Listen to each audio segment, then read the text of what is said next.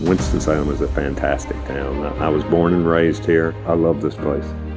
These people have been buying here for 25 years. They love coming in here and seeing the same salespeople and the same managers.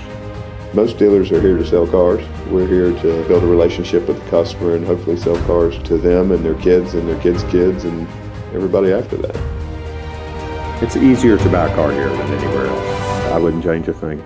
Nothing. Come get a new truck for Ram Truck Month at North Point, the easiest place to buy a car.